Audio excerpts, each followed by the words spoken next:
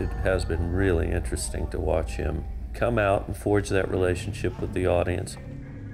And that's a testament to his skill, I think, and his relish at being a stage actor.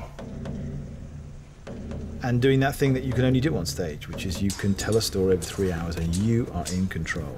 You know, you tell the story, you have them in the palm of your hand, you feel it. It's a huge adrenaline kick. It's the most exhilarating thing for an actor.